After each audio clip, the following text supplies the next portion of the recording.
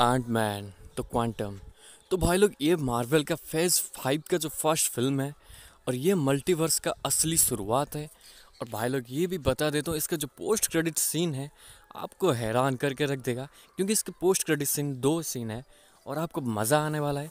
तो चलिए बात करते इसकी रिव्यू बात करते तो भाई लोग आंट मैन थ्री मैंने जब देखा, मुझे इतना भी खास नहीं लगा, क्योंकि इसके कुछ कुछ सीन है, ऐसा नहीं है कि बिल्कुल अच्छा नहीं लगा, बहुत ही अच्छा लगा। लेकिन कुछ कुछ सीन को ज़बरदस्ती घुसा दिया गया है।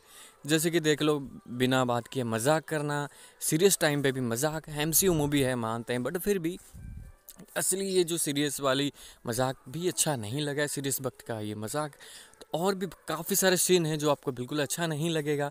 लेकिन सबसे बढ़िया सीन मुझे इस फ़िल्म में वो लगा, जहाँ दो कैंग को चीटियों ने घेर लेते और चीटियाँ जब एंट्री करते, भाई मुझे बहुत ही पसंद आया।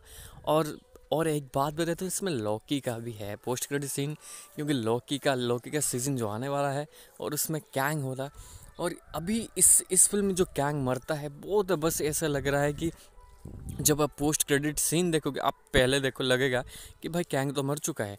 लेकिन जब आप देखोगे कि पोस्ट क्रेडिट सीन कि आपको लगेगा, भाई समुंदर से किसी ने एक मुट्ठी भर पानी निकाले, एक लूट, लोटे का पानी निकाल लिया।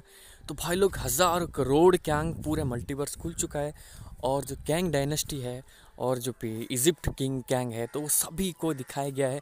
भाई, पोस्ट क्रेडिट सीन आपको घूस बम दिला देगा और ये भी भाई मज़ा आ जाएगा। मैंने जब देखा, सबसे भाई मुझे फ़िल्म से ज़्यादा पोस्ट क्रेडिट सीन लगा। आज तक के जितने भी पोस्ट क्रेडिट सीन है, सबसे ये बढ़िया मुझे लगा। और बात करते इस फ़िल्म के बारे में। भाई, फ़िल्म को मैं पाँच में से दूँगा, थ्री पॉइंट फाइव, क्योंकि काफ़ी सारी चीज़ें, देखिए मार्वल ने मुझे ऐसे नहीं सोचा था इतना बड़ा विजुअल इफ़ेक्ट दिखाएगा आर्ट मैन में, लेकिन बहुत बड़ा दिखाया है। जिस तरह का थोर फ़िल्म है, या फिर देख लो। आपको ये, ऐसा नहीं कि ये कोई एंड गेम है, लेकिन फ़िल्म बहुत अच्छा है।